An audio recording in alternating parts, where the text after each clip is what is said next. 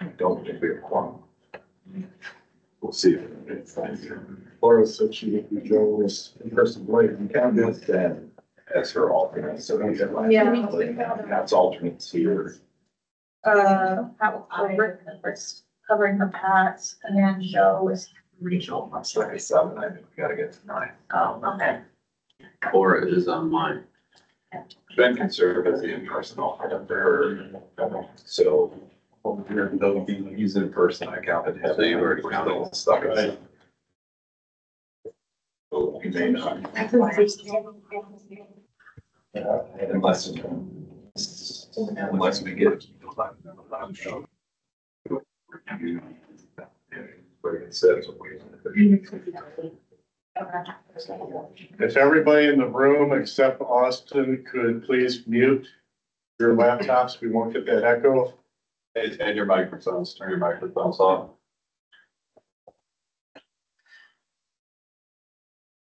Yeah.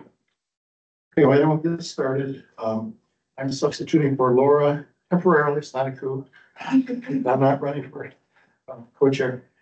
But, uh, she's gonna be a little late, so I want you to help get started. So welcome, everyone, everyone here's in the room and those online. And, um, we will get started today with the roll call, so I guess we'll go around the room, people here. I'll start with you, Dave. David Ventura, MLSA. Rick Soleil, Plainfield Township, AWWA.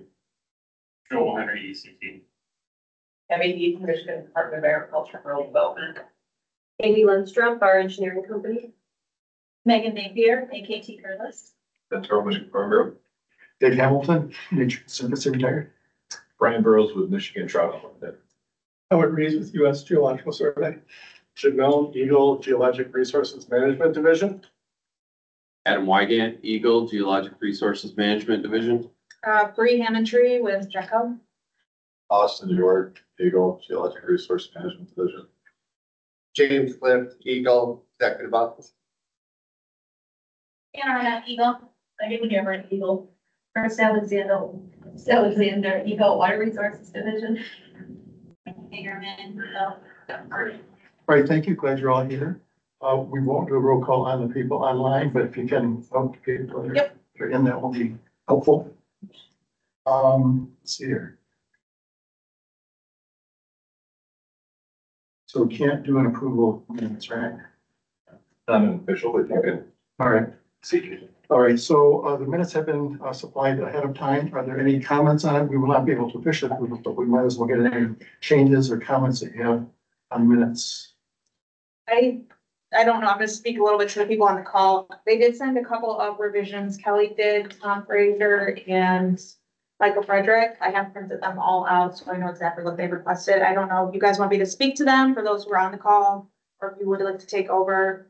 I'm just, What, what I ask them, if they're online, I asked them if they're just, what they're. okay, it looks like Michael had, Frederick has his hand up, so I'll let Michael speak. Thank you. Um. Yep. Two things for the minutes from last time, and I know we're not approving these because we don't have a quorum, but um, I was listed as just being a non-mem, a non-WUAC member. I'm the alternate for Buddy Sebastian for the Michigan Groundwater Association. I was present, that contributed to the, the um, quorum, so that needed to be changed.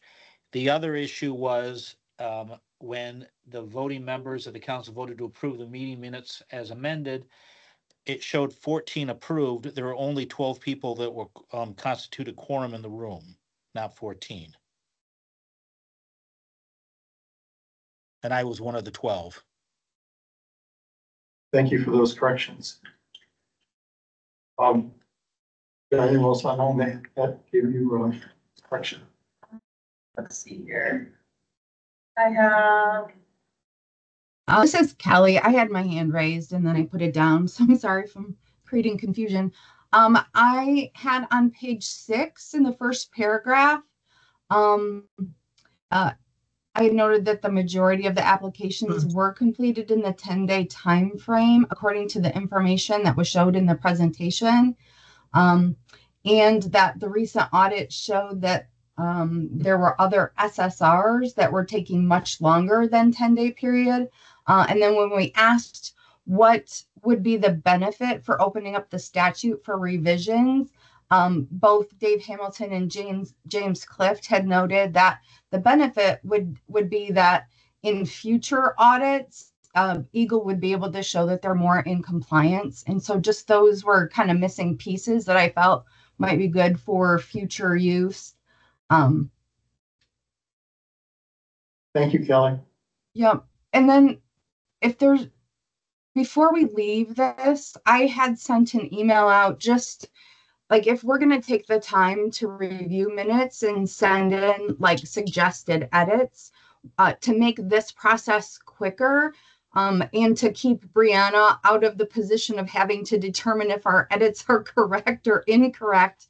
Um, could we just use track changes in a Word document and then she could track the suggested edits along with who who made those suggestions.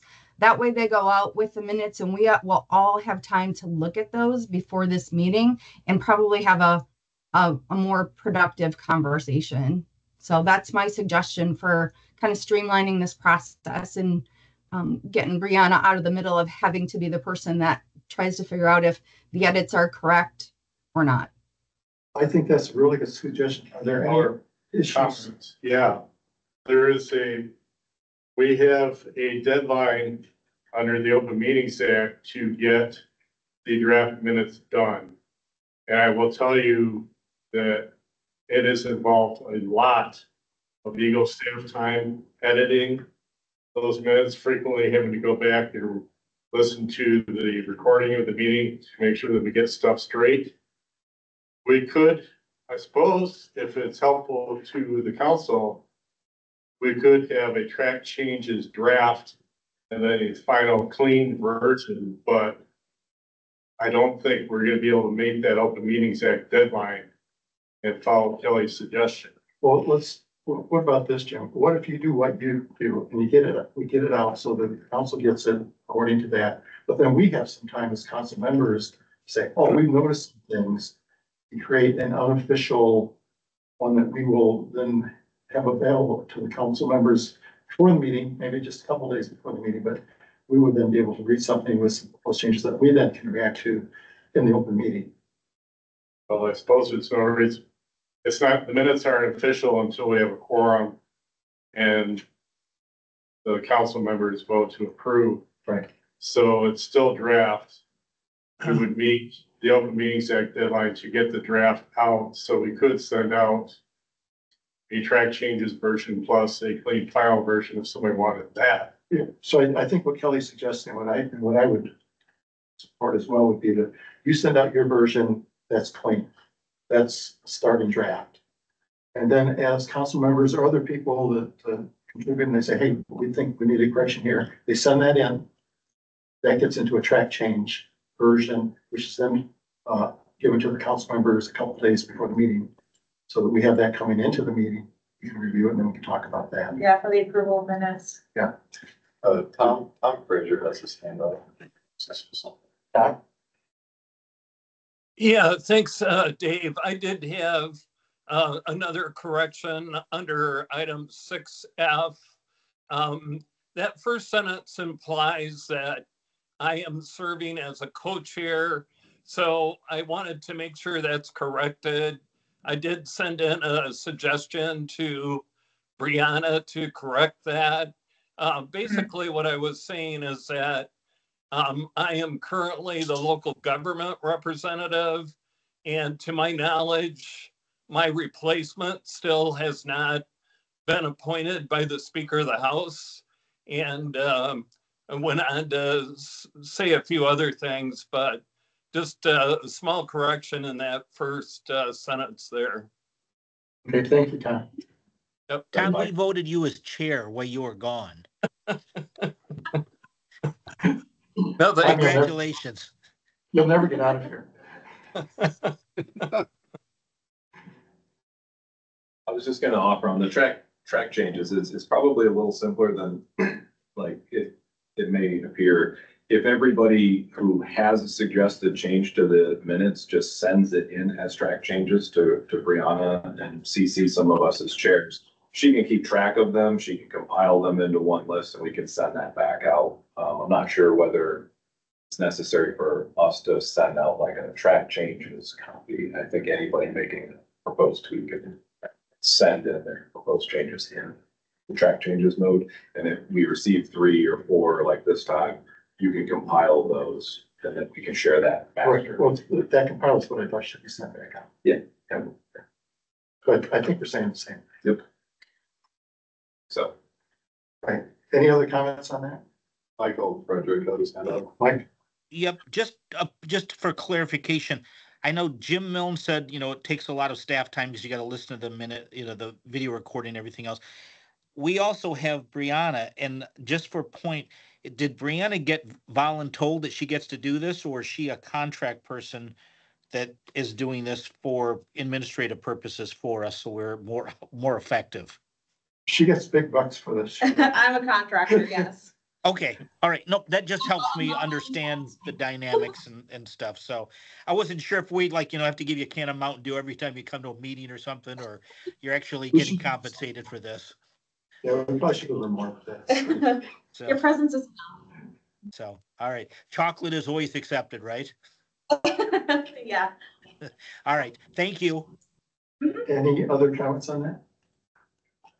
All right, so I, I, I think, Brandon, if you could, um, make that a procedure going forward.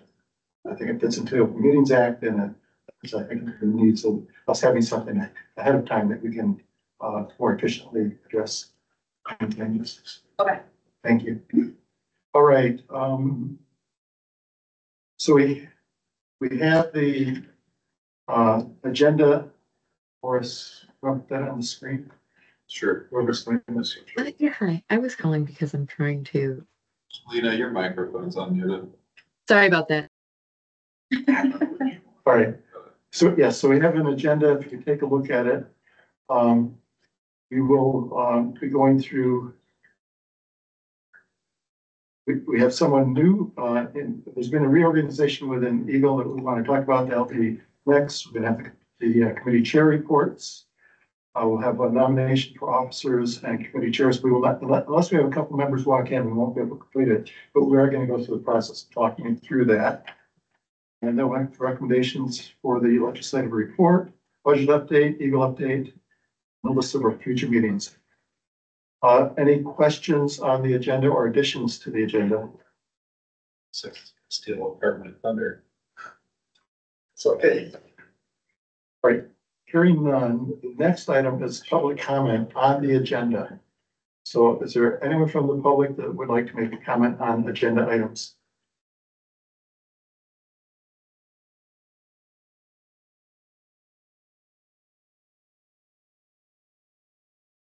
Right, hearing none. Okay, sounds good. I'm gonna pass the, the next, uh, agenda item, introduction of EGLE member and department reorganization to, uh, Adam. Thank you, Brian. Um, I think Chris Alexander will have some comments too, but you'll notice that I am not Chris Alexander. And, uh, our department has had a reorg slightly as it pertains to groundwater. And the, the Jim's water use, uh, advisory unit or assessment unit now resides in, uh, what was the oil, gas and minerals division. We're now called Geologic Resources Management Division. We've created a section for groundwater here at EGLE that includes both Jim's unit and this groundwater data unit. Part of the reason for this or reorg is under, uh, my position, I also serve as, uh, the state geologist. I work very closely with John Yellich and the crew at the Michigan Geological Survey and, uh, and Western. Um, I've long stuck my nose in, in groundwater issues. Um, we've been, uh, we've set up a groundwater, uh, technical team within the department. And when we were looking for a home for the new groundwater database, uh, the, the concept was that we would create this groundwater section, uh, that it would fit well under my, my management in, in our division and that it's really intended to elevate um, the department's focus on groundwater within that section. And Jim's existing unit largely is intact and has the same function that it always has. Um, but as you all know, we've got the new database, data warehouse. We've got big plans for that here at the department. We're now a, um, a data service provider for the National Groundwater Data, uh, National Groundwater Monitoring Well Database. And we just have a lot of hopes and dreams, I guess, to improve data availability, data quality, pulling data out of, uh, flat files around the department that might be siloed, um, and building that into, um, just powerful, powerful tool for, uh, decision makers, planners, uh, et cetera. So, um, that's how we kind of got here. That's how, uh, it got packed under me. We have an open position right now in the, that would be the manager of the, the section. We also have two open positions within the groundwater data unit, uh, thirteen geology specialists, which will manage the database. We'll be holding interviews for that at the end of the month. We've also got a groundwater or a, a geologist nine through eleven position coming on board with a GIS focus to help support our efforts with the National Groundwater Monitoring Network and, um, the database as well. Jim's got a backfill that he's doing in, in his unit as well. So it's kind of where we sit. I asked for a little bit of grace and honeymoon period as getting my arms around this whole operation and, uh, supporting Jim's group in all the things that he needs. You can imagine, we have a lot of legal documents, financial, uh, joint funding agreements, things like that. We gotta get the right names on and, and several that we need updated as well. So really excited to, um, work with Jim's, Jim's staff. He's got a great, great crew. So it's getting, it's fun to get to know them and looking forward to working with all of you. Chris, what did I miss? You got it. You did a nice job. I just, I'm here to say uh, farewell for, to all of you. It's been nice meeting you and working with you over the years. It will continue to work the transition, um, everyone over. Sorry about the hiccup. There was a form that we missed. So anyway, pardon, uh, that, but, um, as far as our interaction, uh, part of the reorganization will, uh, left a, a groundwater geologist specialist under me that will be um, uh, Water Resource Division's connection to the groundwater monitoring database and that development. So we'll still be connected, we'll still collaborate. And I really do miss this group from my section. We had a going away lunch for them, um, a couple of weeks ago. So um, I appreciate all the ties that we had. And actually, I'll still be peeking into the council and what you're all doing because it's all, um, it's all related, um, you know, the water cycle. So I think it's in great hands in Adam's group. I, I was talking to some of the staff over lunch. They're with their people, they're with fellow geologists, so I wish them luck, but I just wanted to say hello and farewell. Um, you leave me in the wastewater world, so anyway, if you need anything wastewater related, that's where you find me. Excellent. Thank you. Thank you, Chris. I've given these comments a couple times, and so, you know, after a while, when you say the same thing about three, four times, it, it sounds funny in your own head, but that was really a point that I should make is that this new groundwater section is intended to be a service group, a support group for department, for outside organizations, networking with Michigan Geologic Survey, the USGS. Excited about all those things. So, um, we're gonna remain very heavily connected at the hip with our water resources division, our drinking water, um, environmental health division and, um, the Bill Argeroff, the acting director, water resource division, and I are on the interview team for the, the new section manager. So, um, that just kind of highlights the importance of, um, our connectivity and, and making the right choices there. Great, thank you. Um, real quick, I would like to thank Chris. Um, you jumped in after Dinah many years ago and you've been nothing but helpful in the process. Um, you know, you stepped forward, you picked it up quick. You did all the little things and the big things to help us run smoothly. I really appreciate it. Thank you. I appreciated it. It was good. I, again, um, all the technical issues, right? What would today be without a little hiccup, right? So anyway, Adam and his group, I bet the next meeting is gonna be flawless, I'm sure. This is minor, we still. I feel, I feel good with Tricia here helping out. So we, we got it. So Thank you for all your time and that, and thanks to, we look forward to working with you too. Forward to it. So John Yellich has a question. Uh, I'm gonna go with Dave first, and then we'll do John. Yeah. And we're glad you're here and glad you're paying attention to this. It is a really important program. and that You've got a good attitude. Uh, towards it. One question I have is, uh, you said that you were a state geologist. Could you explain a little bit? Because I find it confusing that you're the state geologist here and the state geological survey. Yeah. is No, it's, it's a great question. Being the state geologist of Michigan, the sixteenth state geologist since Doug Houghton is a great, um, title to hold because John Yellich gets to do all the fun stuff and I get to do mine taxation. But really what it means is I'm the biggest geologic cheerleader in the state. Um, as I mentioned, my, my role as state geologist, because in two thousand eleven, the Michigan Geologic Survey, which has been part of our group up until that point, split off and went to Western Michigan University. Um, the title of state geologist and some of the functions stayed here because the state geologist um, has particularly mine taxation functions that are established within our several mining statutes. So the cool thing is, is I do still have the state geologist title. I get to do mine taxation, which is not always all that exciting. It's not as fun as the field work that John does. And I serve as an advisor to the Michigan Geological Survey Division and, and Western's Geology Department. But, uh, John is the director of the survey. And, and I should also say that even though we're the Geological Resources Management Division, we're in no way recreating the, uh, the Michigan Geological Survey.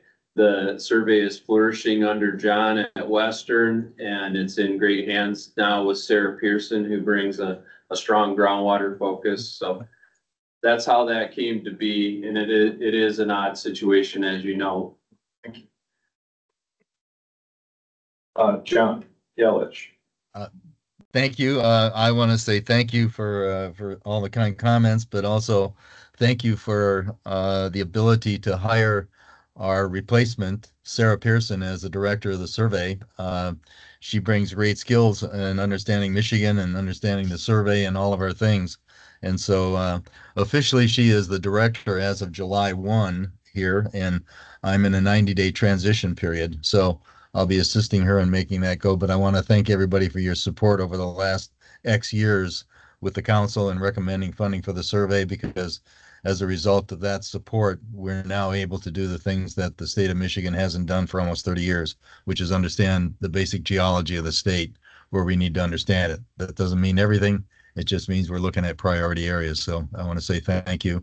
And again, I'm very happy, very happy to have Sarah here as as a leader right now and able to work with all of you in your group and what we're going to do with the database and everything else. Thank you. Anybody else have any follow-up questions?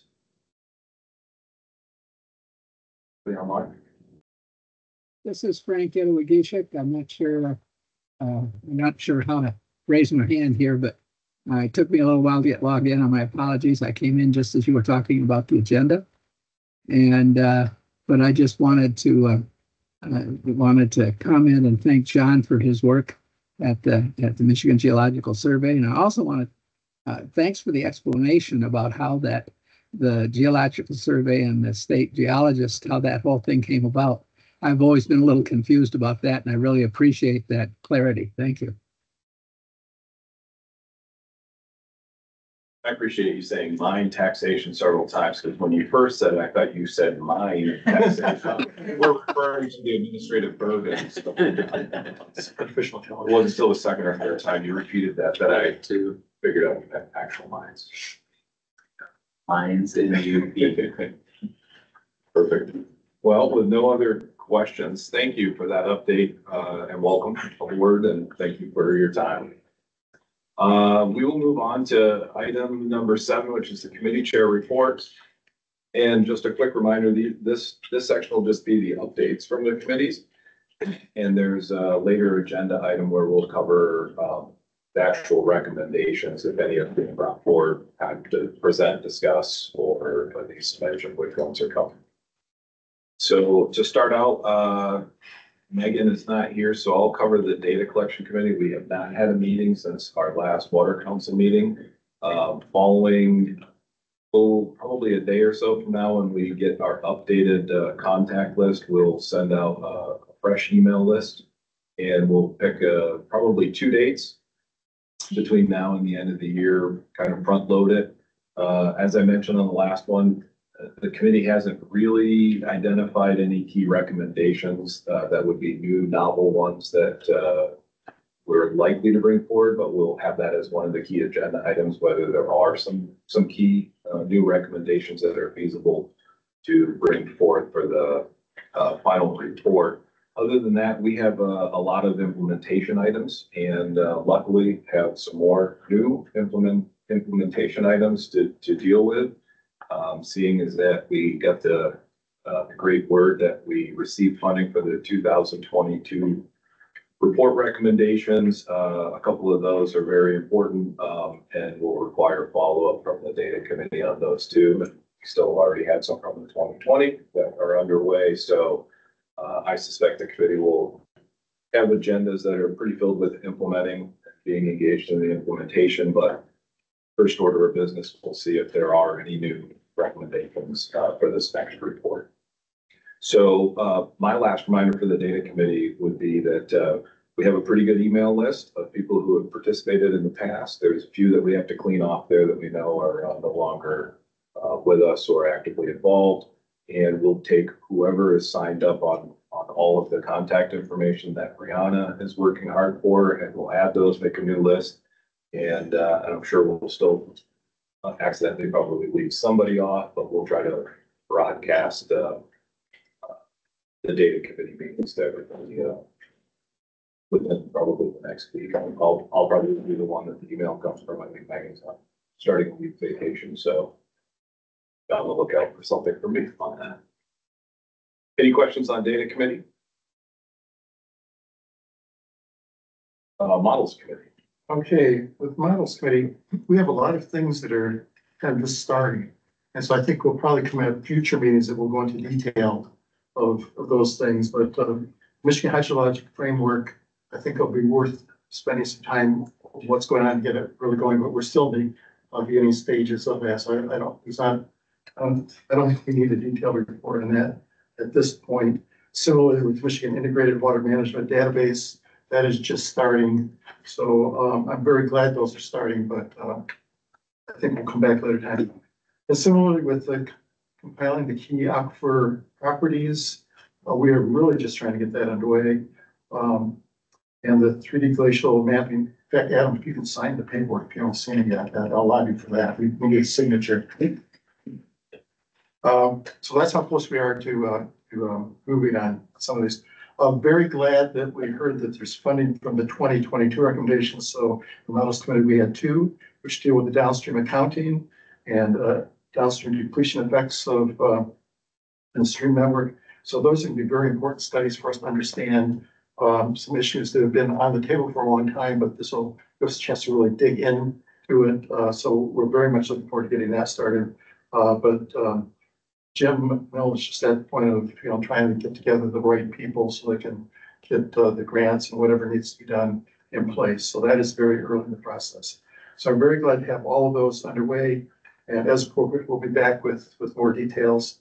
One thing that I hope I can say is finishing up is the aquifer performance test guidance. I probably should have mentioned it because probably would be, if I didn't say the words. Um, but I sent that out, which I hope is the final version, and there's two more things before, um, Jim and I are accepting comments on it. But we do believe that this is a final document, and we want to work on it, so, um, but we'll give people a chance, if you got something, please, uh, please get it to me and or Jim Milne, and we will, uh, take a look at it. The last thing is actually getting into recommendation for the legislative course. I'm gonna hold it for that and talk about it at that point. Any questions on all the things that we're doing? I'm Not giving you a lot of details. Uh, just a quick clarification, you mentioned the funding was going to two projects, can you just describe what we're doing? Um, were those twenty twenty-two ones? Yes. Yeah, so there's a, um, conduct downstream accounting research. And it evaluates stream flow depletion effects downstream.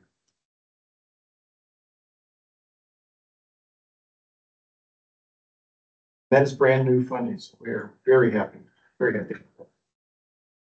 But the very old issues, first time we've got money to do something.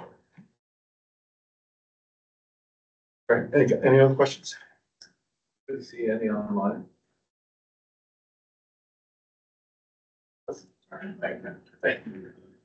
All right, uh, next up is the new topics committee. That is usually Pat Staskevich, um, and he is on uh, vacation this week. Uh, Rick, do you have any updates on that? Yeah, No. there usually has not been any business for a while. You didn't pass it on. Perfect, I didn't assume so. Um, just checking, does anybody have any questions about new topics? committee at this point? All right, Uh, Kelly does. okay. Please go ahead, Kelly. Hey, um, I, well, I don't know if there's anybody online that has been involved, but I think this, that committee kind of rolled into the uh, grant with MSU and the water user committees, and I just wondered if anyone had an update on that at all? Um, I think it, I, I would, I think that was an issue that they handled and, and tried to carry through. And so, yes, I, I, I've seen some email discussion about um, whether or not we can put, uh, presentation time on, on a future meeting agenda. Um, that is about as far as, uh, as I'm aware that it's gotten, so that there, we may have an upcoming presentation on it. At the next meeting likely, I think. That's all I have for information. Sorry, I was just getting, getting myself organized. Are, are we talking about the MSU study? Correct. Kelly was Yeah. asking if there's any uh, information on that MSU study follow-up. We're gonna have an update on that in October. Um, Adam Zwickel's gonna come in and give a presentation to the committee. We're, we're in the process of adding that to the agenda For October. for October, not September. Correct. He wa- he, he wasn't able to make the date in September, so we're gonna do October. I've got one thing that, I don't know if anybody's gonna cover it. Um, there was a large water withdrawal work group meeting that the senator held yesterday. Uh, Does anybody plan on talking about that? Because if they are, I'll be quiet. Otherwise, I'll just raise it, because I think the council should hear about this. Uh, I don't know if it fits under any of the normal ones. Could we make a point and include it during the uh, open comments? Sure. Yeah, good point. Thank you for remembering. Thank you. Uh, Conservation and Efficiency Committee, I hear Kelly on. Is uh, Emily also on? Right. Yep, I'm uh. Perfect. Go I was gonna go ahead and, great. Um, sorry I couldn't be there in person today. Um, good to see all of you. Uh, I'll be giving the update today. We did, uh, continue with our monthly meetings, but took a break for July. Um, so we just had a meeting in early August. Um, are you able to pull up the slides for us? Yeah, he's doing it now. I'll take for them. There they are. You're, Alright, you're good. great. We can see. Um, so we've been doing regular updates on implementation of the twenty twenty recommendations. Uh, the Water Conservation Best Management Practices Project is underway. That was the grant that was awarded to Alliance for Water Efficiency. Um, so they're making good progress on stakeholder engagement as part of that project, uh, working to gather information from, um, the agricultural sectors as well as uh, drinking water and American Water Works Association. So I believe they've done some outreach to Pat um, and folks in agriculture. Uh, they've also been working to get contact information and work closely with the Chamber of Commerce and Michael Alaimo. Uh, we did have a presentation that we had the project team present at the Chamber's Energy and Environment Committee about a week and a half, two weeks ago. Um, and so that was well received. There's been some follow up from a few folks from that meeting. And then we've got some regular project check ins that we've got set up on a monthly basis. So we'll continue to keep the committee and the council um, up to speed on that project and provide our progress report as part of the legislative report this year. Uh, we've also had progress that we've made on the water conservation efficiency practices in agriculture. So that was another 2020 recommendation. Um, this is one where we were hiring two educators um, that took about nine months or so to actually get uh, some candidates hired on board. I'm happy to say that we have both positions filled through MSU Extension. Um, Andy Angie Grady is uh, one of the uh, ag specialists that started, I believe, in May. Um, and then Brendan Kelly uh, just started. Um, so he'll be based in Ludington, and then uh, Angie will be based in Branch County. They are planning on um, pulling together the advisory committee, which was part of that project, um, and getting that up and running by September or mid September. Um, so we had a good update from our MSU extension partners on that project, and we're happy that that project's underway. Um, let's see. So both of those will be putting together some progress updates for the 2024 WUAC report and working with the implementation committee. Uh, next slide.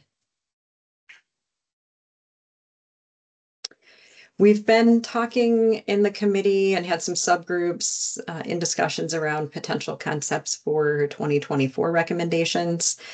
Um, nothing really coming together quite yet. Um, we do have a concept that's uh, not been fully fleshed out yet um, that we're working on with a work group that's looking at creating a potential pilot grant program to fund water conservation pilot projects in areas of potential water stress that would be focused at the community level um, and that would include hiring a limited term employee to help lead the pilot grant program and then support additional water conservation initiatives and programming.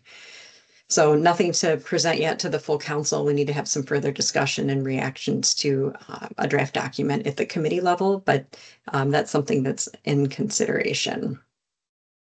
Next slide. We've been continuing our speaker series and also um, efforts to better understand what research needs exist and ongoing research related to climate impacts on water resources and water use. Um, at our last committee meeting, we invited Dr. George Smith. Um, thanks, Kelly, for doing that outreach.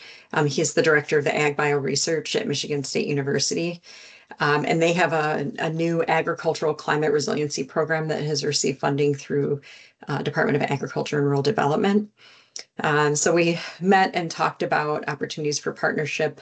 Um, they do host a monthly Zoom call with the um, Ag Bio Research folks. Um, so if that's something that other council members are interested in, feel free to reach out to Kelly or me or Simon, and we can get you the contact inform information for Dr. Smith so that you can get invitations to those Zoom meetings. And there's they're kind of just standing times once a month uh, where there's updates given on the ag bio research and the specific climate resiliency program. So if there's nothing really to talk about, then they'll wrap up early, but it's a good way to make some connections. So we were really interested to hear that uh, they've been doing some survey work of growers, and one of the top priorities identified in the survey results of Michigan growers was climate change and water, um, particularly water use. So there's a number of um, faculty positions that are funded that'll be reoccurring funding for these positions going forward. Um, one of them will be focused on ag economists, um, water use, water quantity, and then some water quality specialists. And then they'll also have some social science behavioral change folks that'll, um, and then some work looking at modeling and field work functions and how that works together. So I think there's a lot of opportunity for partnership with the Ag Bio Research um, Climate Resiliency Program. Um, and it was great to connect with Dr. Smith. I think we're looking forward to having some future conversations with him. I'm um, not sure if we have another slide. Is there one more? I think that might be it. Um, we did also talk at the last meeting, just very briefly, that um, there's uh, funding now for the 2022 water conservation efficiency recommendation that was included in the budget that was looking at um, creating a irrigation mobile lab. Um, that's something we were talking about repackaging for 2024. So we're going to have to kind of go back as a committee and talk through how that funding might be able to be used to support um, that project going forward, given that we got a later start on um, the water conservation efficiency uh, agricultural strategies project. So, so we need to have some further discussion. We didn't have a lot of information about that at the time we met, but looking forward to picking that up this fall. Anything else I missed, Simon, or anyone else from the committee who's on with us today? I don't think you missed anything. Thank you. And we're super excited uh, about Sarah's new role, but we're also very sad to have her leave the Water Conservation Efficiency Committee. So we're looking forward to having a replacement for her role, but uh, I don't think that she can be ultimately replaced. So, um, so that's our update. I'm happy to take any questions. Thank you. Are there any questions for Emily?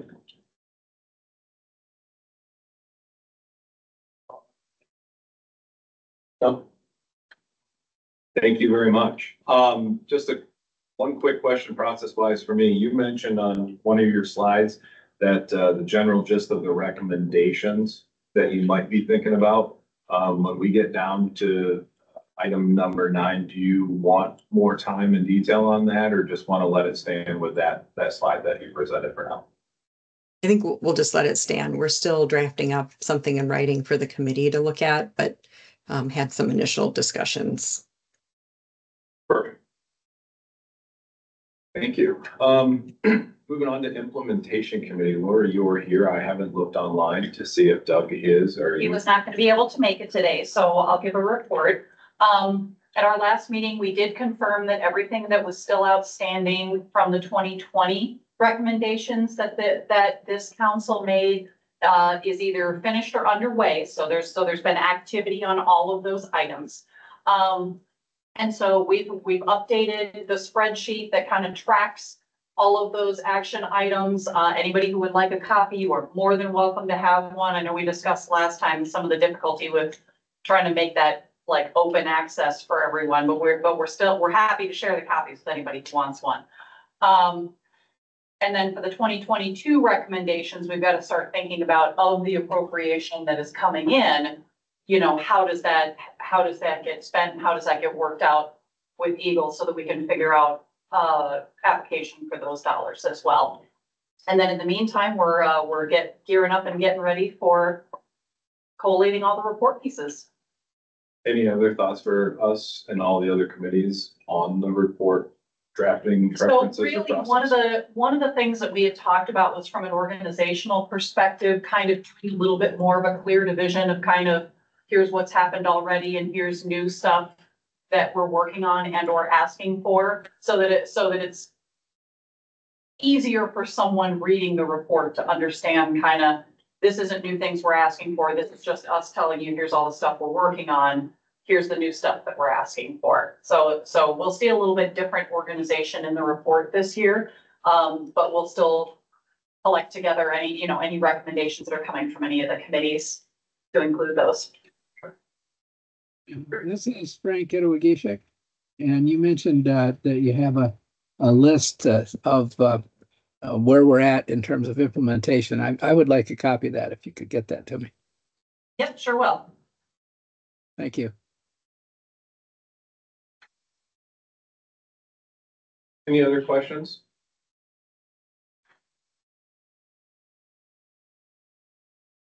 All right, we're gonna shift gears now and talk about uh, nominations for officers. Uh, we've visited this uh, once or twice, but essentially with our first four-year term uh, well past us and most of all of the reappointments done, uh, we thought that, you know, there's uh, it's only good process to make sure that everybody had an opportunity to be nominated, nominate somebody and make changes in chairs, dry chairs, uh, committee chairs that, uh, the group felt necessary. So we've been trying to, uh, provide that.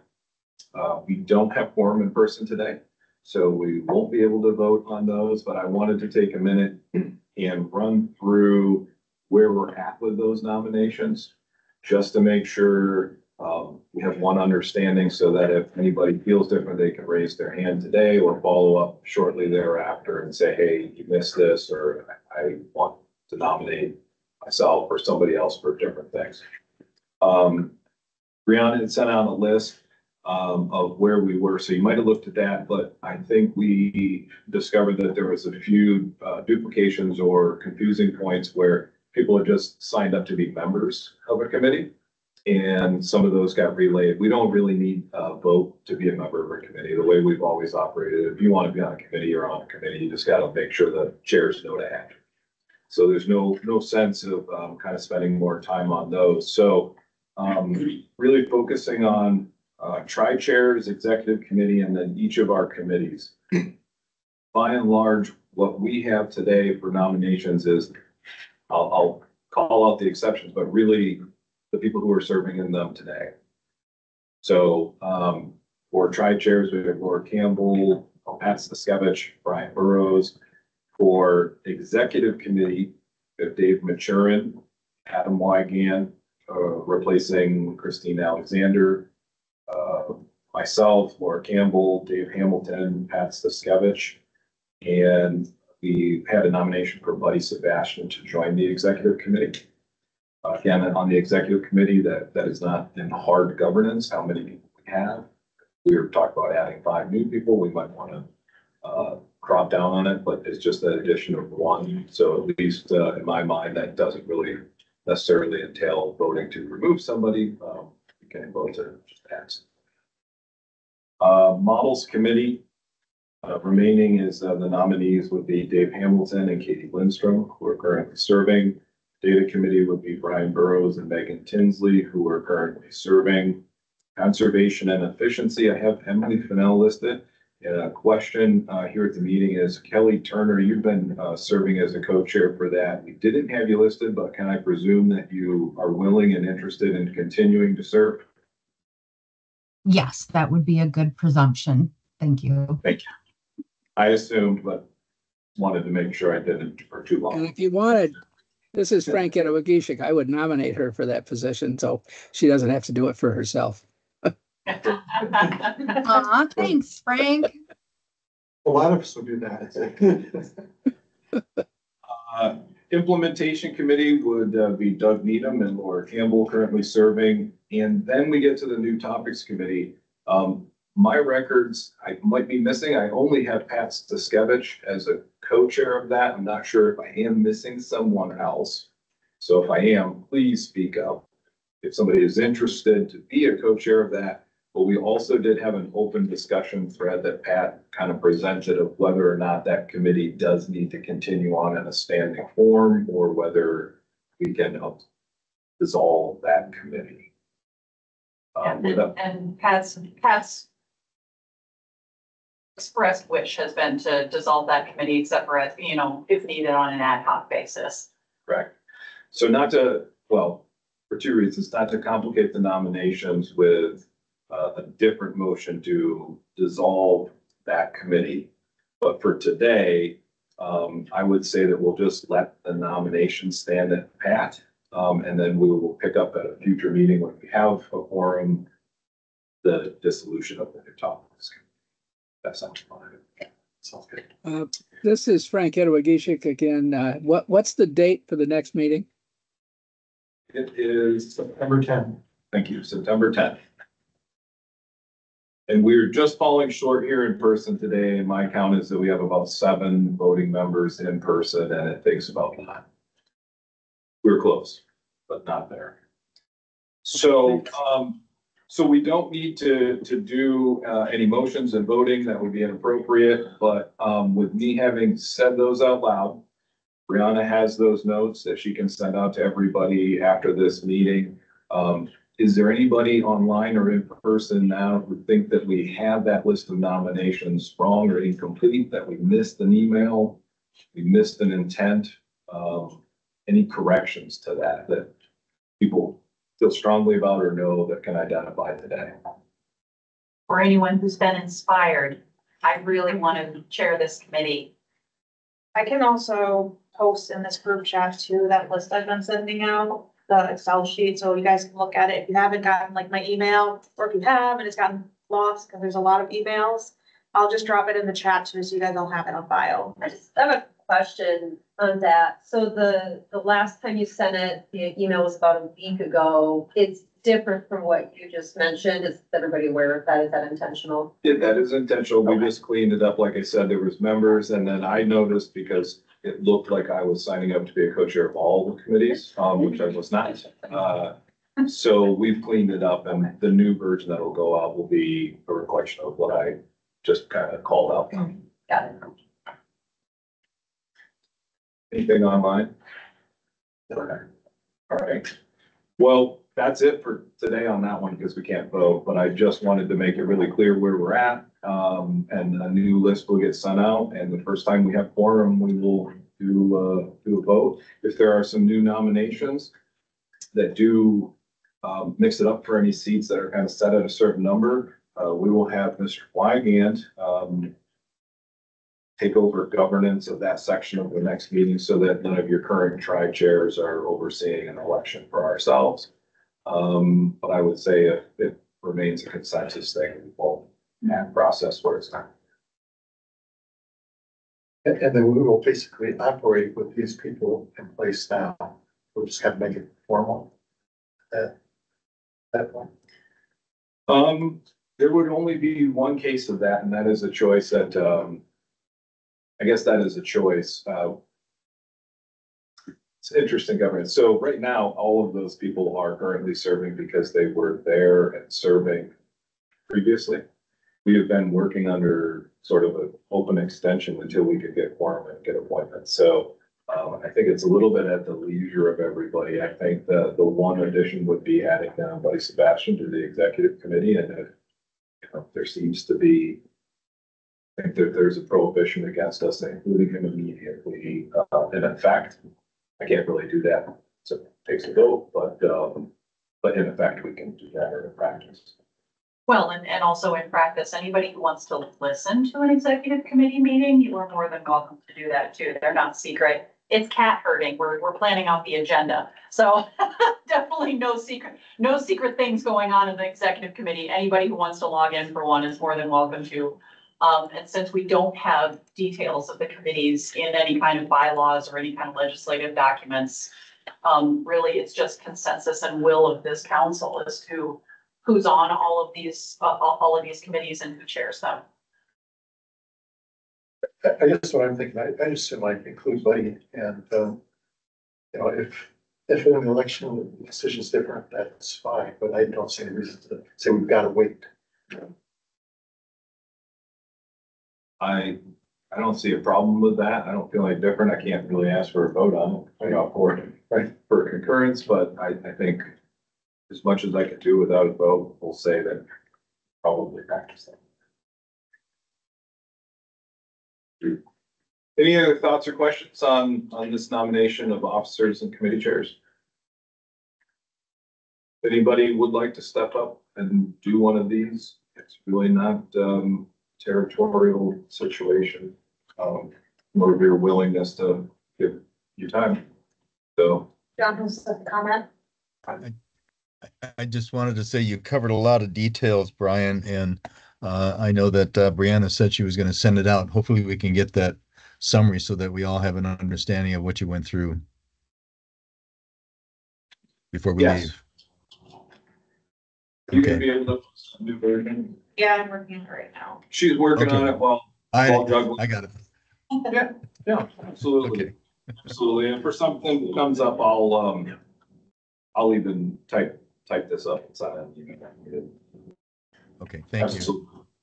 No problem. All right, um, where are we on, we're number, number nine, okay, number eight. You're on, okay, thank you. Uh. So recommendations for the legislative report, uh, we'll go back into kind of committee structure. Um, I said that for data committee, we don't have any today to discuss, uh, models. Go ahead. Yeah, so we have, um, one new thing that we've started talking about, I think I mentioned at the last council meeting. And the, the thinking is that be really nice if we had a study that really dug into this, uh, stream flow depletion.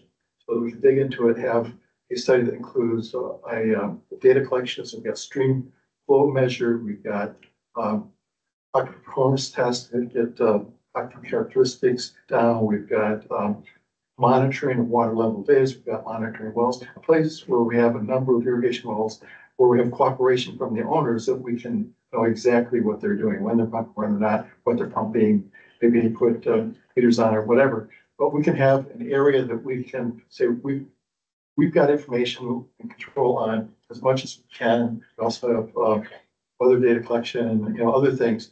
And that we, as part of this, we also then create a model that we can drill down and pull this information together, try to really understand what's going on with stream flow depletion. And, um, we've had some discussions. We had a representative from the state of Wisconsin talk about what their program is. We had someone from the US Geological Survey talk with us at the last meeting. And, um, I sent out his report and if anybody would like, I'd send it to anyone else, but everyone that was on the models committee, uh, list has a copy of this report. And I highly recommend reading it because it is an excellent report. It kind of shows what we would like to do in this study. So that the models can be in the amount of detail where we can look at the stream flow through the area under study, see where water's being depleted, see where water may be coming in from, from sources. We can see how the wells are pumping and how they affect the stream flow and maybe affect each other. Um, so it's, it is an excellent study. And in that study, they looked at management scenarios. What if we stopped well? What if we, uh, uh, uh, scale the well back? What are the things that we can do to manage and that would have an effect on the stream flow? So all these kind of things can be done with that level of detail. And I think what it will do is a number of things. It will give us, um, the ability to better understand what is going on with stream flow depletion. There's a lot of questions that, uh, that go around. Is this really happening or is it not? And I think that with the combination of the data collection and the modeling, I think you can have good answers for that. Um, I think would be very worthwhile doing. So, um, Howard works with USGS uh, Volunteer to put together a draft for us to start working with the models committee. Uh, we will uh, start working on that. We'll come up with a nice, uh, good efficient name as to what this will be. But that's, uh, in generic, generically, that's what the topic is. It's to be, uh, dealing with stream flow depletion, a very in-depth study, data collection, modeling. So, um, I think it's something that would be very worthwhile for us to do. It complements very much a lot of things we're already doing.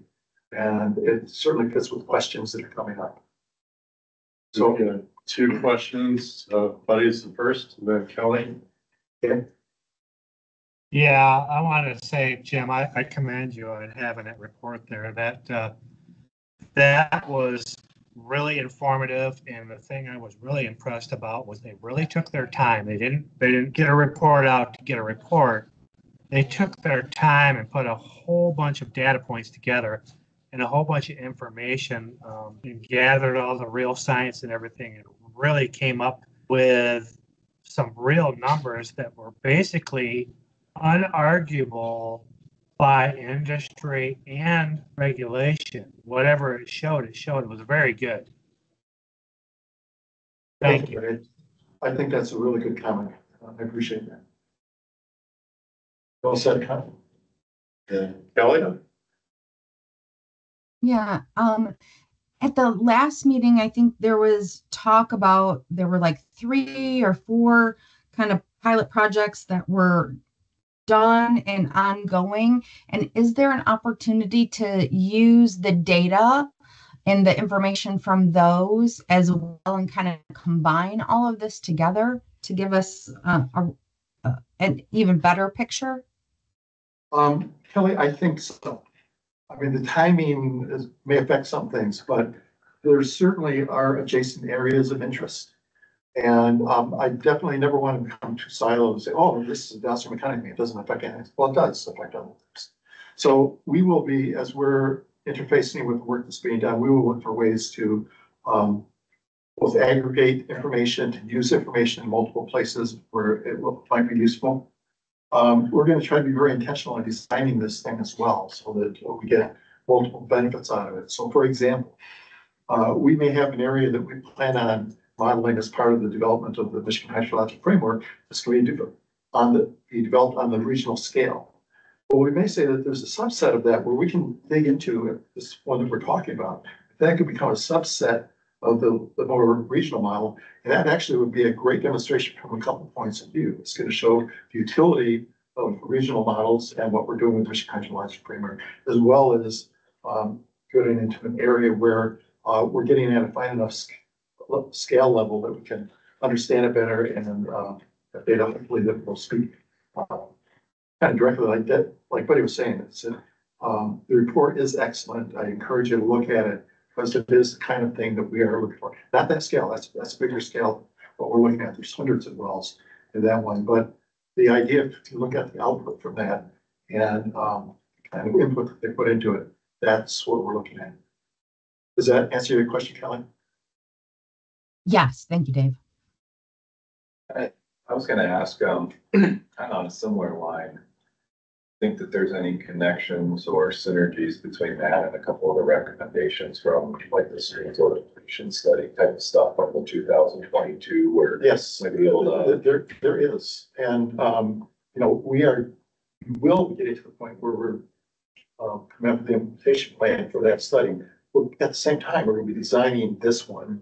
So I think it's a, a great opportunity to have a lot of synergy there because there's, there is, uh, I won't say overlap, it's not overlap, but there's a chance to use data for multiple purposes.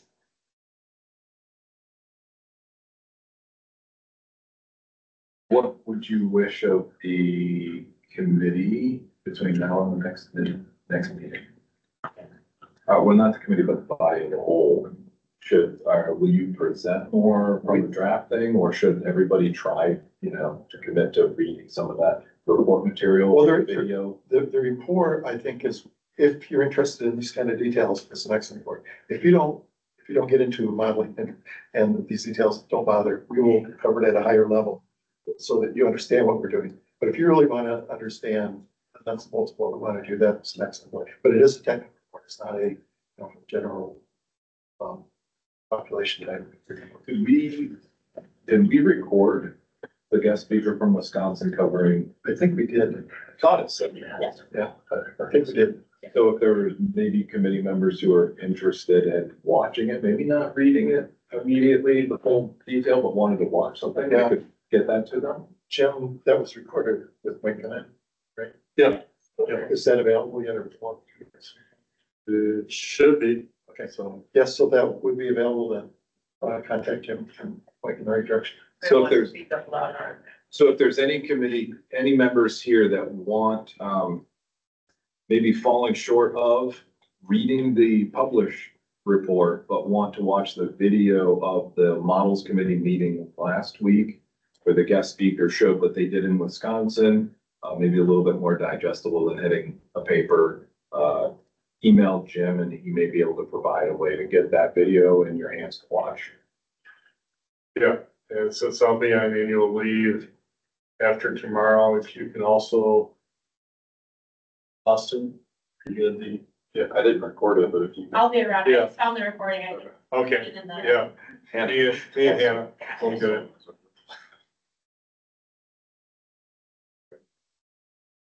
And otherwise, I'm, right now, I'm just doing this for information, just make sure we get some understanding as to what we're doing. We will at some point have a more detailed report or recommendation.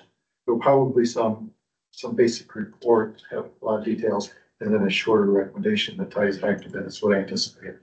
Uh, to it, but we will be doing that in December. Excellent.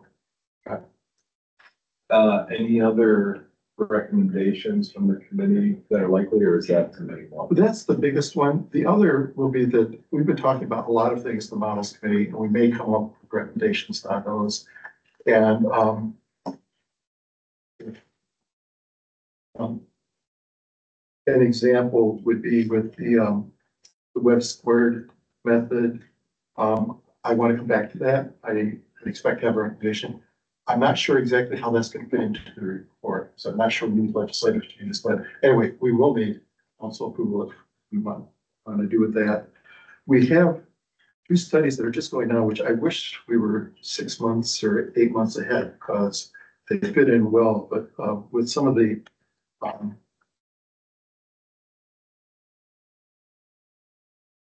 here we go. So these are things, so the, um, compiling key aquifer properties for use in the tool and the, the three D glacial aquifer mapping, those are ones that I think I would like to have recommendations for this go around up the, for the council. What I'm concerned about is that the timeline, we are just starting these, and are we gonna have enough to be able to give full counting for a recommendation by the end. We may not, I don't know. But if, uh, if we don't, I guess what I would like to do is bring to the council what we do have and talk about it in general terms. And something that's like, for example, when I say, we will cover this at a high level for the report. Uh, we will come back later and flesh out what a recommendation is gonna be. I think that may be a very appropriate way to go. And so, yeah, and since those are recommendations from twenty twenty, that could be part of the, here's work that's underway. but some of these, we will want to institutionalize, oh, based on that, take some action, which will require council action. It may not have to go through the legislative process, but, so we may be able to tell, let's say this is what we're doing, and come back later to flush out our, our, our recommendations to action that we think the department would take. Just a quick note, Hannah did drop the recording from the models committee meeting in the chat for this meeting. So, Thank you, Hannah. If for some reason you're not able to access that, let us know, and we'll get it to you. Thank you. And, and there may be some other things, we're talking about a lot of stuff in Models Committee, but there are some things, those are the main things that I would like to bring forward. There may be some other things to bring forward as well. Those are the things. So there's three that deal with the tool, and then this one that, um, deals with the use thing. Yeah. Any other questions for Dave? Not hearing any, thank you. Um. Implementation, new topics, none probably for this, and then, uh, conservation and efficiency presented, uh. An idea of what could come from their committee, so. I Think, unless there's other questions generally about this section, got a little bit of a view of, um, the recommendations that might emerge in the next. Two months, guess would be when they have to emerge in order to stay on time. Um, I also say that, you know, something that we haven't done, but, um, just to say it out loud is we, we are required to report at least every other year. Um, but there is no, uh, prohibition, prohibition, thank you, on reporting more frequently. So if for, for example, we do a report that's very heavy in the progress being made and we're not quite there on a lot of recommendations, but within twelve months afterwards, we, we are ready with a bunch of recommendations. As stuff gets implemented, and we use it, we can always choose to, to issue a, a more frequent, more frequent report than what's called. for. And that may be appropriate, because the twenty twenty work was delayed so much that our original intention is that that work should have been completed by now, and that would be a basis for rec- recommendations this year. I Understand? Data committee, a couple of those 20 20 work on under. Future recommendation, so. Understand. Perfect, all right, um. We're now, I think, going to cover a budget update. Um, I don't know if we have any more detail than what we've already covered. The fact that the one point two million for the twenty twenty-two recommendation was included within the budget signed by the governor. Um, so we'll start the preliminary work on, on that. Again, that money's not available till October one, twenty twenty-four, but, um, the good news is that that is there for us going going forward. Um, I don't think we have any more detail on this one. And on that, I'd, I'd like to say for, for any of the members that did uh, advocacy and communications to help get the funding for the twenty twenty-two report, um, thank you. Aware of all the efforts that different people made. I know Dave Turn, you went above and beyond the call. Um, and it's deeply appreciated. Uh, my group tried to do stuff, had our members, uh, do emails and phone calls, and, uh, I think it, it is you know, a lot of learning to come from it that uh, took a couple of years. We might not have done the right outreach and communications even when we thought we were doing it.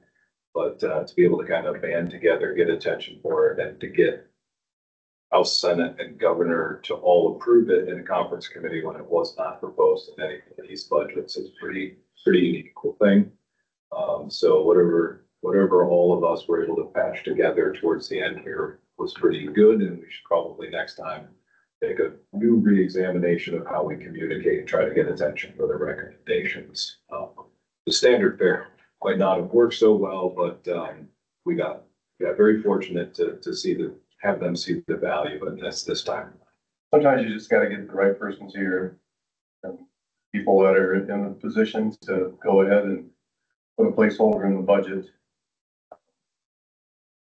Fortunate enough to have a vice chair appropriations committee, being my state senator, and, uh, I talked to Sam Singh, who's majority leader, and also on the EGLE appropriations for the Senate, so once we got those folks rolled in, and then we got the House rolled in with Rachel Hood, and a matter of getting, be able to talk to the right people. So all we wanted was one half of one percent of what James said, there was two hundred and fifty million dollars left unallocated. Roughly, not that he had this, the ability to dispense it, but I thought, I mean, one half, one percent of this stuff, you know? Something that should have been done a couple of years. ago. Anyway, worked out very, very happy that, uh, that's, that stay that way, and it's nice to see the, uh, department help us out. Perfect. Any other questions or comments on the budget update? Online. All right, perfect, thank you. Um, moving on, we have the EGLE update. Lead, Jim? Say you? Yep, so to start off with. Good afternoon, this is the program update for EGLE. I'm gonna turn it over to Simon Belisle from Office of Great Lakes, let him talk about the five-year program review draft report for Great Lakes Compact. There's hard few hard copies around on the tables, um, it was sent out electronically, but I will turn it over to Simon for a few slides to give an overview. Thank you, Jim. If I could have my first slide up, please. All right, thank you. Well, thank you. Uh, yeah, Simon Belisle with the Office of the Great Lakes. Uh, if c- can go to the next slide, please. We'll talk about the uh, five-year review, or as it's long named, the Five-Year Water Management and Water Conservation Program Review. I call it the Five-Year Review. Um, so as uh, Jim alluded to, the five-year review is a compact requirement. Uh, as a reminder, uh, for those who don't work with the compact every day like I do, the compact is a legally enforceable contract among the Great Lakes states, which made the states implement a water management program. The compact also bans the diversions of water outside the Great Lakes Basin, things like that. So, uh, legal document that we're working with, and um, each uh, state and province in the 10 uh, jurisdictions that border the Great Lakes uh, do complete the five year review. There's a separate document that makes the Canadian provinces do it. So all 10 of us are doing it at this time. So the compact requires each of us to uh, review the manner in which our water withdrawals are managed every five years. I'm seeing in the chat that John Yellich is not seeing the slides. I see my own slides right now, so I'm not sure what's going on there. Um, but anyway, where are we in uh, the process? Um, so earlier uh, in the spring, um, MDARD, EGLE, and DNR worked together to create the, the draft document that um, that you uh, received, and then also Brianna uh, put a, a link to at the very beginning of the meeting. And then the um, draft went to the Compact Council and Regional Body for review by our fellow states and provinces by the end of June. There was also the kickoff of our uh, public input process, which uh, where we are in right now, uh, public uh, input until Thursday, August 29. We're hosting a government to government consultation with our tribes uh, on September 17th. Uh, since I sent out my slide, we- we've uh, uh, landed on date on September 17th. And then uh, once we've integrated all comments that we've received, we'll uh, deliver the final report to the Compact Council by the end of the calendar year. Next slide, please. And with the timing of today's meeting, want to make sure to get the Water Use Advisory Council members uh, a little extra time for any comments. So we'll we'll welcome your comments uh, by the end of Friday, September 13. Please don't read the thing in anything in the fact that it's a Friday the 13th. But if you have any comments, do send them to me Uh, I'm gonna put my email in the chat. And um, those will be taken into account as we uh, prepare the last version of, uh, of the report. Oh, And then, um, last, uh, next slide, please. And I wanted to take a minute to talk about what we have observed uh, as staff as we've reviewed our program. Um, we focus on any changes that have happened since 2019. Um, we've had no uh, changes in legislation or regulations that implement the compact in Michigan. Um, one of the things that did happen since 2019, and we're very aware of it in this body, is the the creation of the Water Conservation Efficiency Committee uh, and uh, 20 the funding of the 2020 recommendations. And one of the things that we've been doing a lot more of since 2019 is different outreach activities, more targeted outreach. And then finally, uh, something also that this uh, committee is, uh, or council, excuse me, is very aware of is the emphasis on groundwater. Uh, Jim Milne talks to this uh, this every single meeting. So that's kind of what we've observed over the last five years in, in our review. And uh, I'm happy to take any questions now, or you can reach out to me uh, after this, after you've read our document. So that's all the slides I had. Thank you. Thank you, Simon. Thanks for bringing this uh, to our attention. Um, Looks like it's a good document to read, and thank you for the extra time. Um, We have until September thirteenth to provide your comments to Simon. Uh, Any questions on this? Is that sound? I believe. Yes, Yeah, I- I yeah. did send it out. It's also in this group chat, but I'll send it out again after here too. So, Should have it electronically. Any other questions on this section of the EGLE update? All right, for now, we'll hold off on this. Maybe after everybody reads, uh, we can decide whether anything to discuss, but I appreciate this being highlighted to us. Yeah, all right, thanks, Simon. I'm gonna skip the next slide because Adam already covered the reorganization. So moving on to progress update on some of the twenty twenty recommendations. So first off, the Michigan Hydrologic Framework, EGLE Water Use staff met with project teams for both Michigan Hydrologic Framework and the Michigan Integrated Water Management Database projects. Contractors also started work for the transition probability mapping project. And we've got a joint DTMB and EGLE bid review team that are currently reviewing bids submitted for the updating WWAT Aquifer properties and updating the tools user interface IT projects as part of a larger compilation of IT projects related to the tool and the batch tools.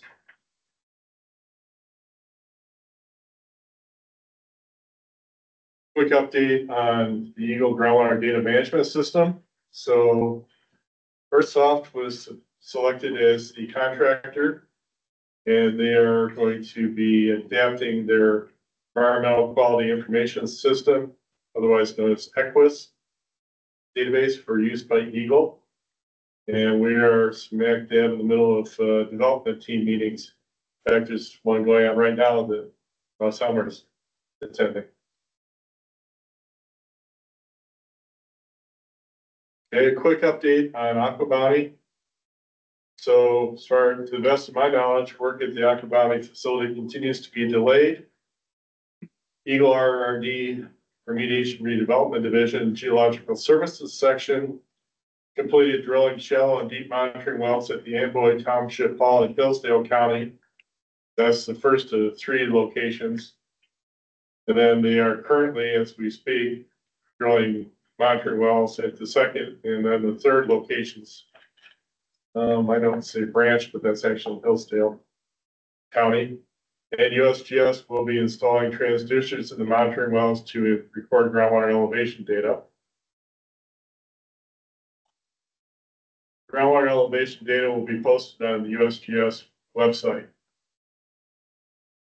Art, anything you want to add about that? No, they're gonna be real time wells, so they'll be uh, updated, I think hourly. Uh, it's indicated that they're provisional, if it's new data coming in, it gets indicated that these haven't been checked yet, and then when the technician checks and verifies, then the color changes and you'll see it's approved data or provisional. It should be interesting, we don't have a lot of uh, observations in that part of the state, and we have some colleagues in Indiana and Ohio who have wells not too far from there, so we'll be able to get a better picture of the region. If anybody needs to find out where that USGS website is, let Howard know, or you can talk to me or one of my staff. And we can direct you to the website. You can also use that for real-time stream flow, string gauge data as well. Okay, moving on to program metrics. So the part three twenty-seven program year runs from July 9th of the previous calendar year to July eighth of the current calendar year, so July 9th, twenty twenty-three to July eighth, twenty twenty-four. Water use assessment staff are gonna be drafting the annual legislative report for part three twenty-seven, which covers some, but no, not all of the metrics that are gonna be covered in the next few slides. We had two hundred and fifty-two registrations authorized during that period through the water withdrawal assessment tool. Another hundred and sixty-six registrations were authorized by site-specific reviews, including eight, eighty-four that were late, know, the ten-day deadline. We had, we also received seven voluntary requests for site-specific reviews, none of which, all of which were done within the ten business day.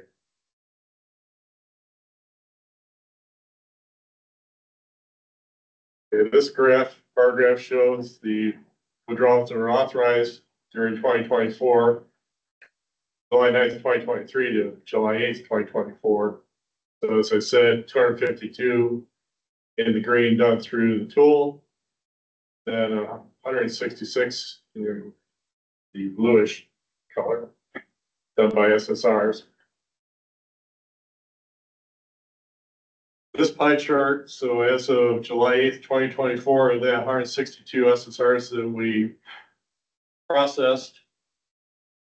We had four denials, sixteen were retracted by applicant and six were still pending. Plus the hundred and sixty-two that were authorized. Of that hundred and sixty-two that were authorized, eighteen ended up as zone A. Thirty-four were zone B, seventy-one were zone C. Twenty were authorized as geology pass, in other words, zone A. Geology pass meaning that our geology review concluded that the pumped aquifer is not hydraulically connected to surface water. And another nineteen withdrawals were authorized based on using existing registered or baseline capacity. Then, as I said, four SSRs were denied. As far as timeliness. Again, the statutory business deadline is ten days. Our average number of business days from receipt of SSR request to completion, fourteen. And forty-nine percent of the SSRs were completed within that ten business day deadline. This next set of graphs show the cumulative timeliness trends. Top graph shows the trend in the average number of days to complete the SSR. And the bottom graph shows the trend in the percentage done within the ten business days. In 2023, 2024, roughly ninety percent of the SSRs were completed within twenty business days. Which was the basis for the discussion in the Models Committee about potentially extending that deadline from ten to twenty, but that still to me, is under discussion. Next slide is our pre-screener reviews that we do for EGLE's groundwater, drinking water and environmental health division. Essentially, this is our staff doing a site-specific review for a public water supply withdrawal. Then we provide the results back to drinking water division. So we did twenty-seven. Seven of which resulted in zone A, five were completed as geology pass, like I said, the pump aquifer is not hydraulically connected to the stream flow. Surface water. Two were zone C, we had zero denials, and four were authorized as the basis of. Based on replacing existing baseline capacity. Permit, Sorry, Jim, didn't mean to interrupt you there. What about the rest of them? So if this is out of twenty-seven? Seven zone As and five geology passes and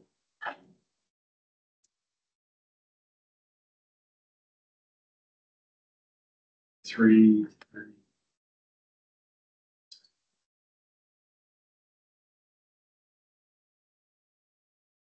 Good question. I will have to, I have to have a chill and get back to you. Jim, uh, Jim, I think the zone B, there was quite a few of those that came through. It's not listed on there. I'm sorry, I didn't catch that. Zone B repeat? had quite a few as well. I don't know if that just got missed on the bullet point. That's where the remaining nine might be. Yeah, that's what's left off of there, apparently.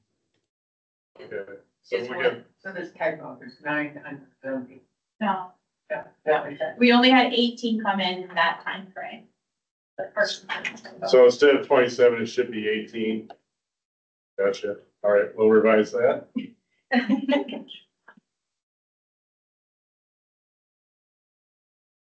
No, we had a lot of uh zone Bs there which have been missed. That's what it is.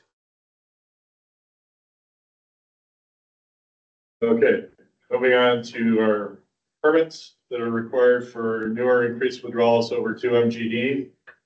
So in that same July 9th to twenty-three to July twenty-four. And he issued two permits. One application was retracted by the applicant, and we have four applications that are still pending. As of July eighth, so we've got a few that are out on, currently out on public notice. Compliance metrics for that same period, July 9th, twenty-three through July twenty-four. Hannah sent out hundred and four compliance communications, so twelve after the fact registrations, so. If a withdrawal was installed and or operated differently than what was registered either through the tool or an SSR. If there is stream flow enough to authorize it as billed as operated, we issue an after the fact registration. Four requests for, to address missing pump information. Seventy-six revised registrations. So when we're notified that the as build is installed differently. And there's, again, there's no stream flow, we will amend the registration, send that out. And twelve compliance communications sent out to property owners to ask whether they've in fact installed the withdrawal or not. During that same period, we also sent out seventeen violation notices. Nine of those violations were closed after they came back into compliance, so there are eight still outstanding. And of those, we sent out six second violation notices. So, I'm sorry, my math is wrong. So nine were coming, came back into compliance, but the other six still outstanding. We sent out second VNs for those. Are there any questions? Jim, can you give us an idea of what the violation notices are for? Those that aren't registered, you know what, where they were installed and operated. Uh, using more water than was authorized through the registration. Those are the main two. Thank you. And this is, this is Frank Ettawageshik. Uh, Jim, I'm, I was noticed that you had a, uh, uh, that you were talking about municipal systems. And I'm just curious if, uh, if a small municipality wants to put in a well that will triple its, its, uh, availability of water, but that water is primarily for, say, another use like Nestle had proposed once with, with the diff, with one of the cities in the state. Uh, how do we review that, that application from the municipality? And is that still reviewed? Is there any special criteria that would be used for a situation like that? Or is it still just a city applying for more water? Thanks. Well, that's, if it's bottled water, if it's a newer increased withdrawal larger than two hundred thousand gallons a day, so ten percent of that two MGD permit requirement, part three twenty-seven, Safe Drinking Water Act, that's administered by drinking water.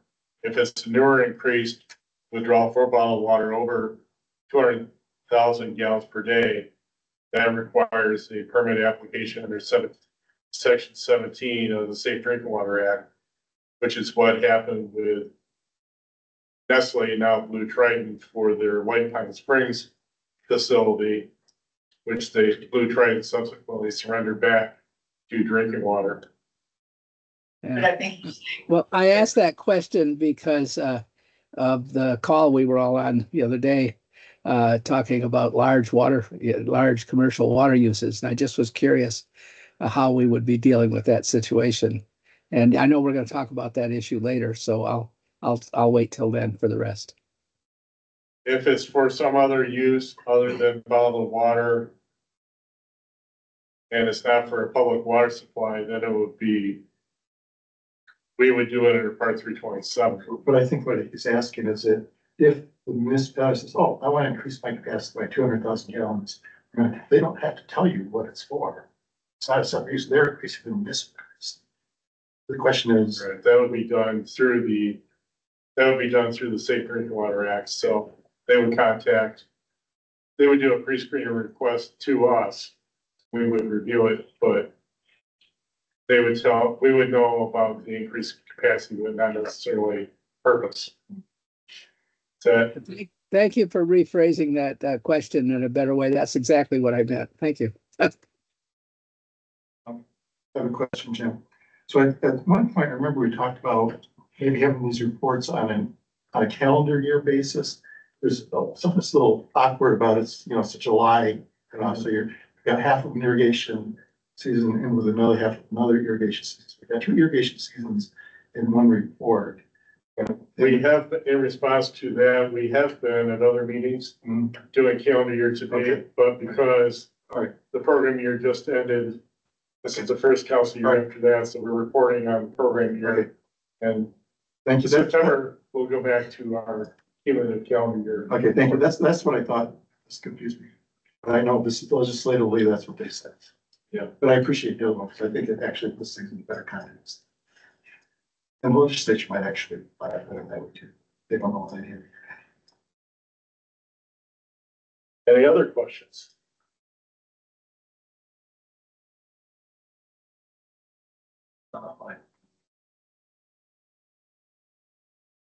Uh, Todd, did- is your hand raised or did you already ask the question? No, my hand was raised. Can you hear me okay? Yep. Um, on slide twenty-six, you had a bullet that talked about updating the transmissivity or the hydraulic, the aquifer characteristics. Um, that update, is that, what is the, what is the basis of, of updating that? Is that just expanded Wellogic database or is that from additional uh, aquifer tests that have been conducted in the state?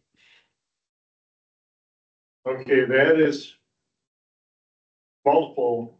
So in addition to when the tool is developed, the groundwater model, the aquifer properties used by the tool's groundwater model were based on the GWIM project, groundwater inventory mapping project, which only included well logs up to two thousand five. So part of that project will be incorporating everything in Wellogic post two thousand five. But in addition, that will also include updated aquifer properties from aquifer pumping tests. And any other, any other research. So. Does that answer your We- question, Todd? It, it does. Uh, I do have a follow-up question. Um, I know when we were, we were looking at streams and stream gauges, we had about, what, almost fifty-six hundred streams or watershed areas with like hundred and forty-seven stream gauges. Do we have similar numbers for aquifer tests? How many aquifer tests were there? Um, I mean, we know the number of well logs, obviously in Wellogic, but do we have a number for how many aquifer tests there were uh, in the GWIM project uh, versus how many actual aquifer tests have been run since then that have been added? That's a good question. I'm Is, is Dave Lusch on the line? I am. Um, can you hear me okay? Yes. Yeah. Um, memory serves that the, uh, drinking water aquifer performance tests database is around three hundred at the moment statewide. We are hoping, but we have not yet achieved obtaining another two hundred and fifty to three hundred aquifer performance tests that have been done by private consultants uh, for ag irrigators. But because there's a client um, ownership issue there, it's, it's not so easy to just assume that those will be coming in. But in a best case scenario, the project for updating aquifer properties might have as many as six hundred um, aquifer performance um, test data points. And by the way, the the improvement in the Wellogic uh, data set itself is phenomenal. When we did the GWIM project in 0405, we had less than 250,000 data points to work with. We now have 600,000 data points to work with. Uh, not all of those will generate a transmissivity due to data problems, but we should easily have well over a half a million data points to repopulate that transmissivity map.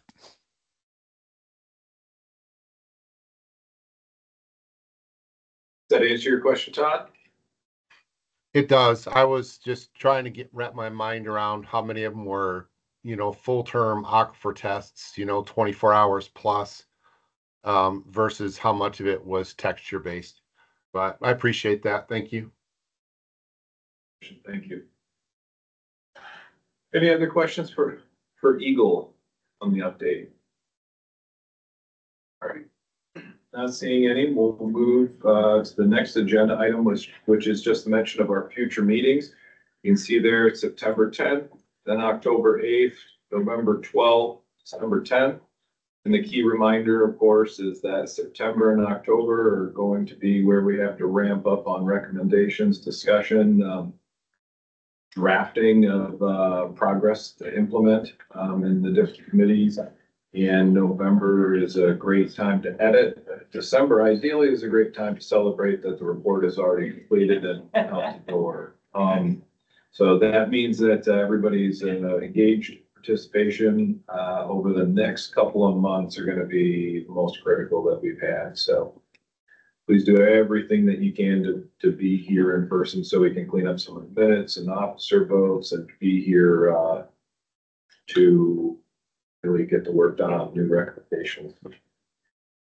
All right, um. Is there? Well, there was, the meeting. Yeah, we're gonna. Gonna do that next. Uh, open comments, uh, next agenda item.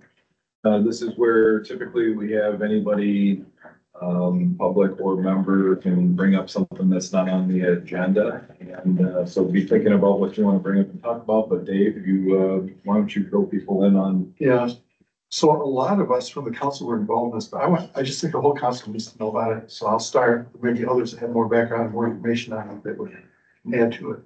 There's a large water withdrawal work group that's been formed by legislators.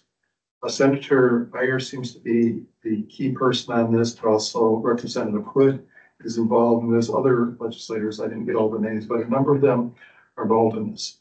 The issue seems to be that large data centers uh, use a lot of energy and they need uh, a lot of cooling water to, um, keep their center cooled while, while the processing all the pictures that we take on Google and whatever else, but these are huge, uh, database processing places.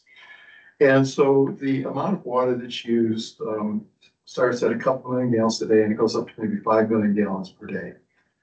Um, the concern is, is that when legislators heard this, they have, they also sounded like a really big number. And they became very concerned, are we gonna cause a problem in Michigan, uh, with data centers coming in? And apparently there's interest in having multiple of these data centers coming in in various parts of the state. So the legislators were concerned, it became an issue among some of the legislators. Uh, I hadn't heard nothing about it, um, so maybe some others that can fill that in. But uh, Senator Bayer, um, hard work to kind of look at this, and as I understand it, she wants to basically understand what is the current regulation? And it is that a permit would be required under existing law. So I think they need to understand more about that, what required, and that may just be the answer. If they understand that they need a permit, satisfy the permit process, that may be all they need to hear. Although they may, um, have other concerns that they would at least have, want to talk about or maybe have addressed. Um, and I was invited in this as a last minute thing. I think other of us maybe as well. Uh, but one thing I did is I invited, um, legislative aides from Senator Bayer's office to come to the one oh one seminar for the process that I put on this morning, and they came. So I was very glad that they participated. They asked good questions. I think it was very important because it explained to them how the existing process works, as well as how the permitting process works. So I, I think it'll give them the background that's gonna help them down the road. Uh, again, as I see the issue, they have to decide whether they think the existing permit process covers their issues or not, or if they want to do something. Um, in addition, I pointed out that, you know, the, the bottled water industry actually volunteered to be under, um, permits. They wanted the permit. And so, um, pointed out that, you know, there may be some considerations that they want, especially specifically for these kind of data centers. But that's what they're gonna have to talk about inside. They invited a lot of people, a lot of, uh, interest groups, a number of council members. I just thought the whole council should be aware of this, and if anybody else wants to add to it, those, um, maybe. Dave Bush has a question, but then after Dave, I wanted to touch on something if the, in addition, I was in the same meeting, so I wanted to touch on. Well, why don't you go ahead if it- and then we'll save a question for after. Well, a question for you, Dave Hamilton, um, in your water use slash tool one oh one thing you did this morning, which unfortunately I had a scheduling conflict I, I had to miss, but did you get into the compact requirements in terms of when regional notice is required for consumptive use? We, and consumptive use versus total? We talked, we talked a little bit about that, yes. And, um, I mean, from the, really stressed how the compact came to be and, and the importance of that is underlying why we're doing what we're doing, which I think they needed to understand. And I think that came across very well. Just a little bit, I focused mainly on the permitting process. Oh, we talked a little bit about the, uh, Great Lakes. There was, in the meeting that we were in, they did, that, the legislators did seem to have some confusion specifically regarding consumptive use amounts for these data centers that they concerned that it's hundred percent consumptive use, all lost to the atmosphere. And when is regional notice required under the compact and what does that mean? So as a refresher, And, and just, and Jim, I think that you had put in the chat, I think that actually answered their question. I think they felt satisfied with that. But just for everybody's benefit here that wasn't in on that. So consumptive, there's a difference between total use and consumptive use. So consumptive use being everything that is either lost to the environment for evaporation, for example, or incorporation into a product. Be another example, but if that consumptive use is above five million gallons a day, then regional notice is required under the Great Lakes Compact. And to date, 14, 15 years in to the program, we haven't had one of those distances come up yet, but there seemed to be some confusion And the other thing, about that. The other thing that, that Jim is, that's notice, it doesn't require approval. Right. It's very different. Yeah. Dave Lusch? Uh, just to confirm, uh, I think my question was answered by what Jim was just saying, but I wanted to ask, are all these data centers going to be a total consumptive use or are some of them, uh, pass through to discharge? Um, that's a good question that, uh, apparent. I have had no involvement in discussions on this, so someone else might speak if they have. But apparently, there's been discussion with them that maybe there are other ways of doing things other than evaporative cooling. But the industry, for whatever reason, thinks that's the way to go. So that's their position. Based on further discussions, maybe something else could be, uh, worked out, but, um. That's what came out in this meeting. Other details I don't know, Dave, but, uh, I know that others have raised that issue. And to date, we haven't had a part three twenty-seven permit application coming in for a data center, but if we get one in the future, it's specifically called out in the compact decision criteria, not so much in the part three twenty-seven permit decision criteria. Looking at the use of the water, so is it as efficient as possible? Are you minimizing waste? So that would be, if you're talking about cooling water, are you able to recirculate? And reduce the evaporative losses that way? So that would be one of the things that we would look at during our permit review. That is, um, another tangent, but some of this is very similar in nature to the, some of the large scale aquaculture, like AquaBounty or the Muskegon one that kind of came and went, where implicitly trying to avoid a cost of an alternative by saying we want to use this amount consumptive per day. And that's a year or two ago, that's why I kind of signaled as far as the water conservation and efficiency. Puts us in a little bit of a weird situation. There's water user sectors that have to use water. There really is no replacement, no matter what you, what you can afford. And then there's operations where there is, but it's more expensive. And those are, those are very different. And this one, this is lining up a lot like some of the, the one-time flow through aquaculture facilities, using groundwater one time, avoiding the recirculating filter system. So it has, has a lot of similarities to some voids we have there, what, what we view as water conservation best practices. This it depends on what you mean by efficiency. Right. Evaporative, How you hundred measure- percent evaporative cooling would be the most efficient from an energy standpoint. And they would pump the least amount of water. But they use the most water, but I mean. You could argue they're efficient. Frank has something too.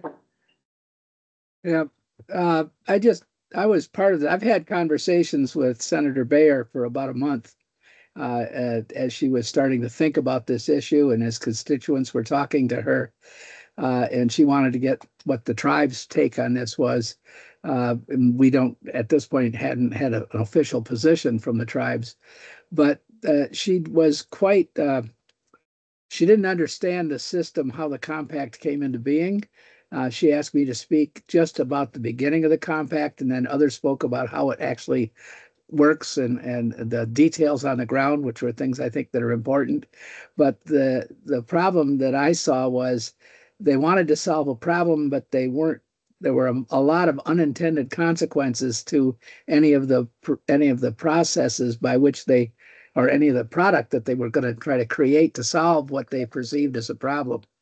And so uh, the so that what's happened is there are data centers in other states that have caused issues in other states. And those other st- people in those other states have been calling our environmental folks in, in, in michigan getting them upset and concerned about what's happening with the data centers coming here and so there's a lot of pressure on the legislature to do something about this. Of course, that would require legislation. If they had legislation, that might do regulation. And so there's initially, I heard some talk about changing the compact.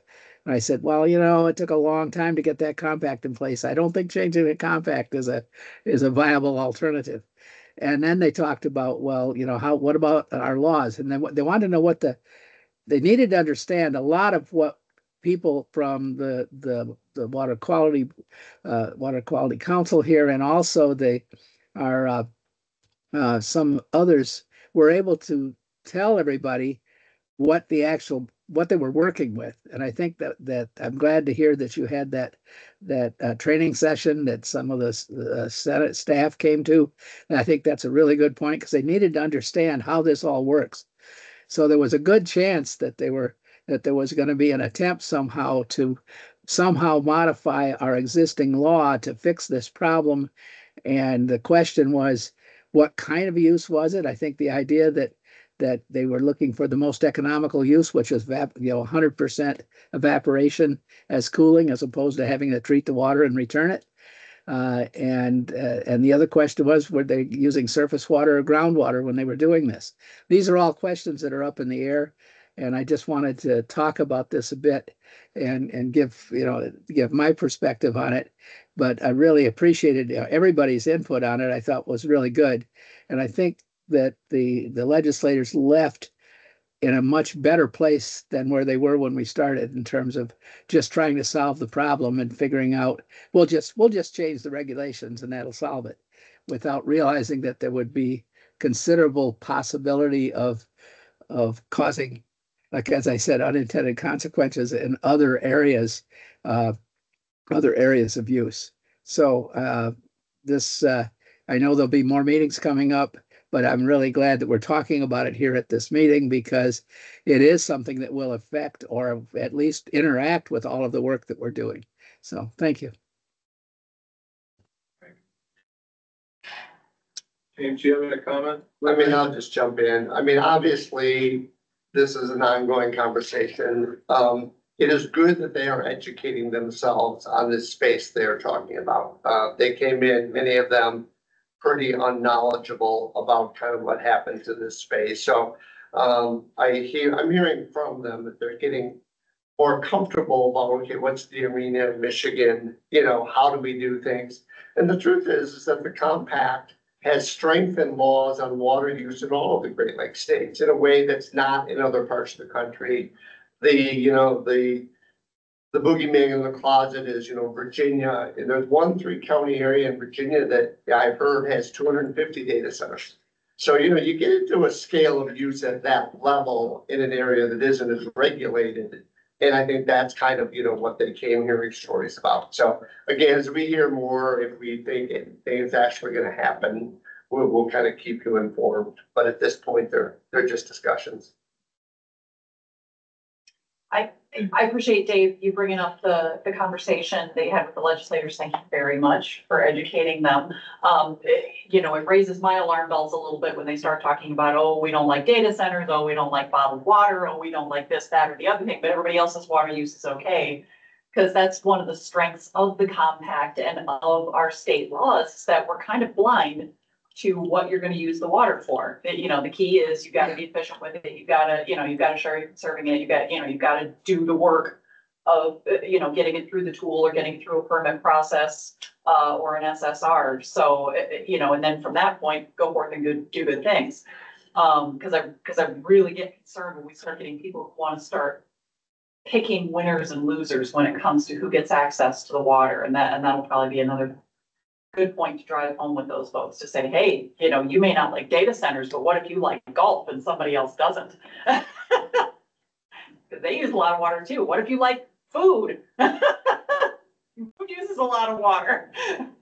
I, I, I, I would say I hear you and, and you're right philosophically. I think, um, the one distinction is they're, I believe they're also talking about possible major state investment funds, tax breaks, incentive programs for this and wanting to make sure that if they're helping support it, that they can kind of approach it a little bit more scrutiny than just the standing recommendations for all industries. Actually, it's, it's kind of a separate item, but I just wanted to bring up an editorial that was in the New York Times a week ago. Did you see the title? Will we have to pump the Great Lakes, California the nation? And it's a professor. Come and take it. It's it's a professor- it's a professor from, I believe, Arizona. I can't access it now, uh, water policy guy, talking about the need to, you know, conserve water, figure out the situation in the west, but he repeated this a couple of times, like this was a valid, uh, potential option In my, without, any- without any background, and, and it was, a friend of mine sent me this at like eleven in the evening, and I was just really irritated with that, but, but I was surprised that it hasn't come well, up. in my slideshow, I used a very old picture of the, uh, people with uh, sombreros and cowboy hats with straws. Back off, sucker. Yeah. I said it too. See, This is why we have this law. Yeah, well, and I think, I, the way that article was written, I think part of it was to, to kind of raise the ire, not a little seriousness. But it was, it was still. Yeah, I think he knows about the compact. I think he purposely didn't Yeah. 'cause mention it to try to get Add people up. riled up. No, Yeah. no, yeah, no, and that's what was irritating. Not all people know about the com, I mean, I've heard of discussions in other state legislatures where they have to be told, no, that would violate federal law. That's Right. the first time they have heard An that, international treaty. that, that prospect. And then they usually back off when they realize they're, you know, requesting a violation of federal law, but, you know, it's, uh. What, and, and what irritated me is he, he represented himself as a water policy specialist. Yeah. You know, so it, it was, it was just a, I'm surprised you didn't bring up the, the other idea that I've seen floated, which is taking water from the Mississippi River. You know, we can't take from the Great Lakes because compact. Let's take it from the Mississippi River. And increase the Chicago diversion, of course. Okay. You know. One week, ago. you have the dates? uh, the fifth, I think it was, I think it was the fifth. If you If not, it get, was the fourth. if you get a copy of this, Like I say, forwarded to me, so. if you get a copy of this, send it. Any Yeah, other open I, I have to comment? get to a place like. Any other, any other open comments? Online, in room? Yeah, in my mind. All right, well, um, I'll skip the governance of asking for a motion and approval to adjourn since we don't have quorum and say thank you all for being here and the meeting is adjourned. We'll see you in a month. Good job, Frank. Bye. Guys. Where are you exit? Yeah, I was at Agro Expo this morning and, uh, and had to. I also screenshot it off, getting it, to do a lunch for the class on whole team. when I was out there. So I was like. But, yeah. I just- Yeah, totally not. Staff reporting. But yeah, it was good, it's good morning out there. I mean, the weather's fantastic. You know, for once it's not nine hundred degrees or pouring down rain, so.